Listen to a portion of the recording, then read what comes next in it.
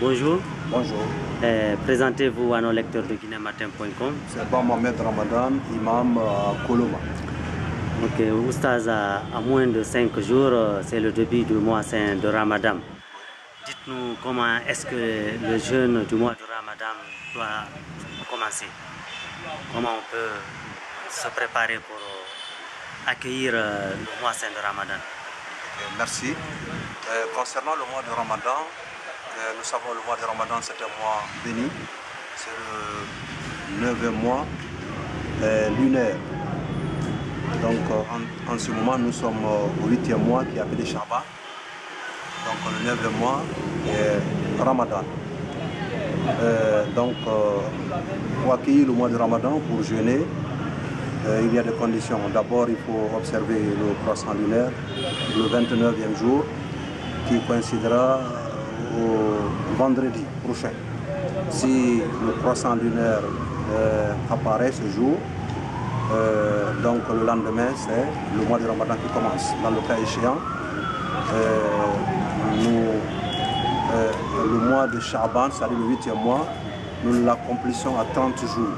Donc, euh, lendemain, euh, donc, euh, après samedi, donc le dimanche sera le premier jour du mois de Ramadan. C'est comme ça. C'est ce qu'il faut savoir d'abord.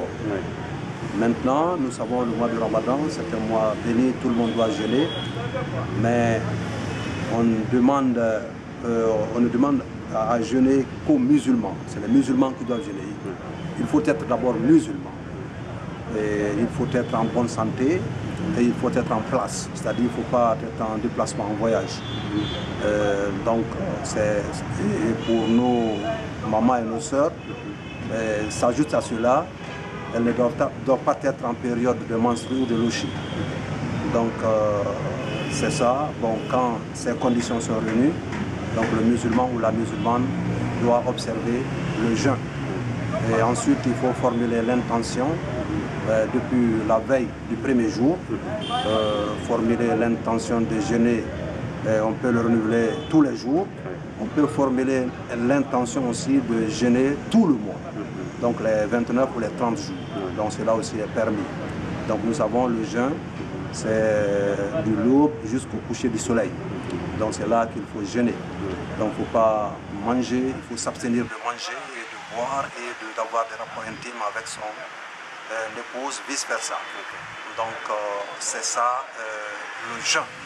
Donc il faut jeûner parce que la récompense du jeûne est immense.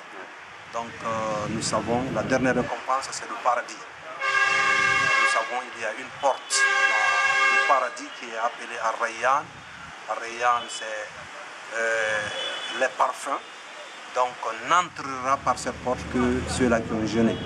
Donc euh, il faut jeûner, euh, il faut s'abstenir de manger et de boire euh, pendant toutes les journées du mois de Ramadan.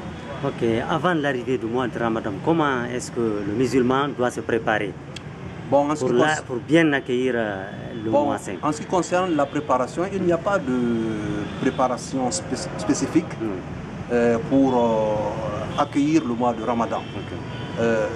Donc, euh, seulement, hein, il faut hein, chercher de quoi manger, euh, surtout quand on a les moyens, et surtout aussi penser à ces pauvres, puisqu'il y a des pauvres, il y a des deux menus, et il y a beaucoup de miskines, des gens qui jeûnent et ils n'ont pas de quoi à manger. Donc il faut penser à eux, il faut les venir en aide. Ça c'est une très bonne chose, il faut penser à, à cela. Et puis il faut penser surtout aux adorations. Les adorations que le musulman euh, doit faire pendant le mois de Ramadan. Il y a beaucoup d'adorations. Les adorations sont multipliées euh, pendant le mois de Ramadan. Par exemple, les prières surrogatoires. Il faut beaucoup prier, surtout les prières nocturnes. Euh, Il ne faut pas négliger les prières nocturnes. Il faut prier toutes les prières nocturnes. Puisque le prophète, paix salut sur lui, nous dit toute personne qui arrive à prier toutes ces prières nocturnes, du début à la fin, euh, Dieu effacera tous ses péchés. Donc, euh, il ne faut pas négliger ces prières, il faut se préparer pour ces prières, il faut se préparer surtout pour la lecture du Saint-Coran. Il ne faut pas négliger la lecture, il faut lire le Coran en entier, hein, du, euh, de la première sourate à la dernière sourate. hein. il faut lire tout le Coran Et il faut écouter les hadiths du prophète paix salut sur lui et surtout la, sa biographie puisque ça se lit partout dans, toutes les mosquées presque. Donc il faut écouter à tout cela. Et puis il faut se préparer surtout, surtout aussi à faire beaucoup de sacrifices. Euh, puisque le sacrifice pendant le mois de Ramadan euh, n'est pas comme le sacrifice hein, euh, hors Ramadan. Donc il faut se préparer, surtout quand on a les moyens, à faire beaucoup, beaucoup, beaucoup, beaucoup de, de sacrifices. Aussi, si on a les moyens, il faut se préparer pour aller euh, faire la Umrah à la Mecque, le petit pèlerinage. Là aussi, c'est une très très bonne chose. Euh, pour ceux-là qui en ont les moyens, vraiment, c'est une chance puisque le prophète nous dit, Père salut sur lui, celui qui arrive à faire la Umrah pendant le mois de Ramadan, c'est comme s'il avait accompli le pèlerinage avec lui. Donc, euh, nous avons accompli le pèlerinage avec le prophète, la, la récompense et le paradis. Donc, il faut se préparer pour tout cela. Et surtout, surtout, surtout, il faut se préparer pour le jeûne, puisque hein, c'est là l'objectif fondamental. Ok, les personnes âgées ou bien les personnes malades qui ne peuvent pas gêner, que doivent-ils faire? Maintenant, pour les personnes qui ne peuvent pas du tout jeûner, on commence par ceux-là. Euh, ceux-là, ils doivent nourrir un pauvre. Euh, ce qu'ils doivent faire. Ils doivent donner à manger à un pauvre euh, chaque jour, chaque jour, ou bien ils attendent à la fin du mois. Et si le mois c'est 29 jours, c'est terminé à 29 jours, hein, ils réunissent 29 personnes, 29 pauvres, ou bien si c'est 30 jours, ils réunissent euh, 30 pauvres et ils leur donnent à manger. Ils mangent jusqu'à leur faim et donc ça, ça récompense euh, ou ça compense hein, euh, le jeûne qu'ils devaient faire pendant le mois de Ramadan. Ceux-là qui ne peuvent pas du tout, du tout jeûner. Euh, les malades euh, qui sont condamnés, qui ne peuvent pas supporter hein, le jeûne et la maladie. Maintenant, il y a une deuxième sorte, une deuxième maladie. La maladie qui, qui peut guérir. Cette maladie qui peut guérir, là, on n'observe pas le jeûne puisqu'on est malade, mais à la fin du mois de Ramadan, hein, si on est guéri, on doit hein, rembourser les jours qu'on a mangés. Hein, c'est comme, euh, c'est la même chose pour nos sœurs et nos mamans hein, qui euh, n'observent pas le jeûne quand elles sont en période de menstruologie. Euh, Celles-là aussi, bon, à la fin du mois de Ramadan, hein, elles doivent rembourser le, hein, les jours qu'elles ont mangés. Donc euh, c'est comme ça. Donc il y a deux sortes de maladies. Quels sont les compromis que s'est dit au docteur Pandamolo Il y a certains jeûneurs qui jouent au damier, aux cartes et tant d'autres, en disant que c'est pour euh, euh, réduire, se divertir pour faire passer le temps pendant la journée. Est-ce que cela est normal C'est des choses illicites. C'est des choses illicites. Il faut, il faut s'abstenir. Il faut s'abstenir de faire tout ce qui est illicite, tout ce qui est interdit. Tout ce qui est haram, il faut s'abstenir. Parce que c'est un mois béni, c'est un mois euh, où euh, le musulman euh, sera pur purifié. Donc il faut vraiment éviter tout ce, qui est, tout ce qui est interdit, tout ce qui est haram. Hein. Nous savons ce que vous venez de citer, euh, le damier, euh, Lido. lido, les cartes, Guinée Games, euh, etc. Tout cela, euh, c'est pour se divertir. Donc il faut hein, abandonner tout cela. Pourquoi? Vraiment parce que ça peut, euh, ça, ça n'annule pas totalement le jeûne, mais ça diminue, hein, ça diminue euh, les biens euh, qu'on pouvait avoir pendant le mois de Ramadan. Donc ça peut même aller jusqu'à annuler même le jeûne. Donc voilà pourquoi il faut s'abstenir de cela. Il faut s'abstenir aussi de mentir ou de témoigner le mensonge ou la calomnie hein, ou de voler ou euh, en tout cas hein, de dire des choses qui sont illicites. C'est-à-dire qu'il faut, il faut tenir sa langue. Il ne faut pas parler de n'importe quoi et n'importe comment. Hein, il faut savoir que nous sommes dans un mois pas comme les autres mois.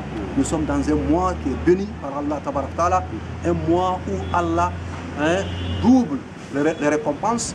Donc il faut s'abstenir de commettre, de commettre des péchés. Et surtout pour nos sœurs, euh, on, vraiment on les conseille, euh, qui ne s'habillent pas bien, donc d'éviter les tenues extravagantes et de bien s'habiller, hein, de, de porter des tenues correctes, et vraiment et avoir peur de Dieu, n'est pas exciter les gens. hein, euh, vers elles. Donc ça, c'est des choses qui sont interdites par notre religion. Donc euh, ça, ce sont des choses qui sont vraiment euh, interdites, des choses euh, illicites.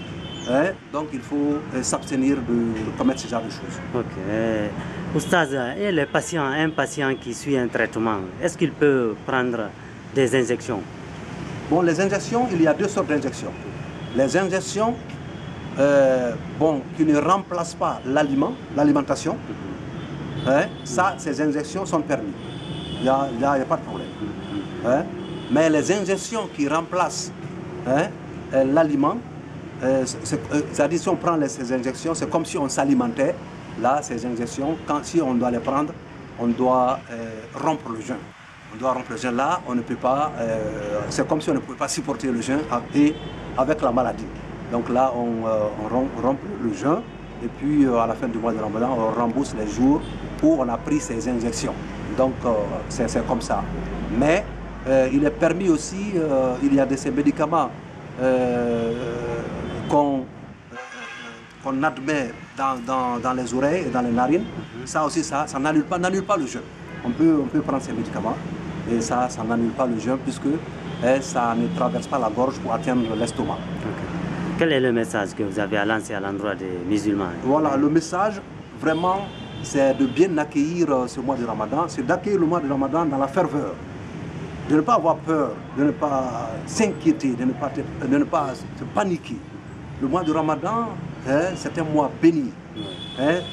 Euh, Le prophète nous dit dans un, hadith, si on savait hein, les biens qui se trouvaient dans ce mois béni de Ramadan, hein, on aurait souhaité que toute l'année hein, soit un Ramadan. Toute l'année. Donc tellement qu'il y a la baraka, il y a la bénédiction hein, euh, donc, euh, dans ce mois euh, de Ramadan. Donc c'est de dire aux frères et sœurs musulmans vraiment d'être généreux envers tout le monde, hein, d'être gentil, d'être doux, d'être patient et surtout, surtout hein, d'être tolérant. D'être tolérant. Ça, c'est ce que la religion recommande. Quand le mois de Ramadan arrive, hein, en tout cas, les gens doivent se pardonner les uns envers les autres. Donc le, musulman, même quand quelqu'un euh, venait vous injurier, vous insulter, vous ne devez pas répondre. hein? Même si quelqu'un venait vous provoquer hein, pour faire la bagarre, vous ne devez pas répondre aux provocations. Pourquoi? À cause de ce mois, le ramadan, à cause de Allah Ta'ala. Donc encore une fois, euh, on demande aux frères et sœurs musulmans vraiment de bien accueillir ce mois de Ramadan et de accueillir ce mois dans la ferveur et surtout hein, dans la piété, dans la piété totale. hein, et vraiment, euh, tout le monde, tout le monde, tout le monde hein, doit jeûner ce mois de Ramadan. Personne, personne ne doit, ne doit manger ou boire hein, dans hein, la journée ou dans les journées de ce mois de Ramadan. Surtout, je m'adresse aux jeunes. hein, ils commencent le jeûne après 10 jours, après deux semaines, et après, euh, il lâche, et puis euh, il commence à manger. Vraiment, c'est dommage. Ça, c'est quelque chose hein, euh, qui est interdit par la, la- la religion musulmane. Euh, on doit savoir si hein, un seul jour nous mangeons volontairement, hein, il y a des sanctions.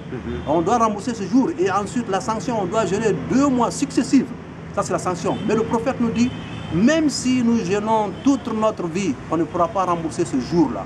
Le jour où, le jour, hein, où nous avons mangé volontairement, alors qu'on n'avait pas, on n'avait aucun problème et on a mangé. Donc il faut vraiment s'abstenir. Nous demandons à nos jeunes, nous savons que nous avons des jeunes qui sont pieux, des jeunes qui sont braves. Donc hein, ils n'ont qu'à observer hein, le jeûne du premier jour au dernier jour. Merci, Oustaz. Je vous remercie.